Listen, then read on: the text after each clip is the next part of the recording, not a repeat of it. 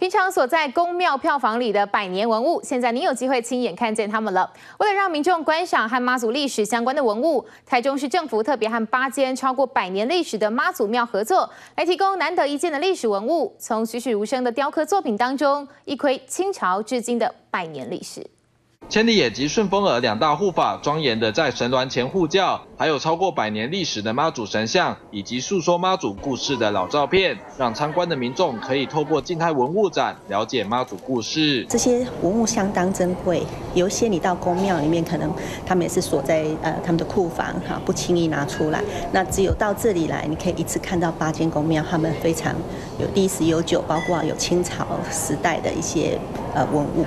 为让民众一窥妈祖的历史文物，台中市政府特别与八间超过两百年历史的妈祖庙合作，提供难得一见的历史文物。乐成宫有一个古木香炉，那它这个是清朝道光年间，那它的从这个古木香炉，呃，可以看到它当初的年代里面，它那个工艺就是雕刻的工艺的精致，那它把那个整个一个历史故事做的栩栩如生。主办单位也表示，这些文物原本都是存放在庙内仓库保存，很难有机会让民众欣赏，因此希望借由妈祖节的活动，让大小朋友可以近距离欣赏。联合报田兆伟台中报道。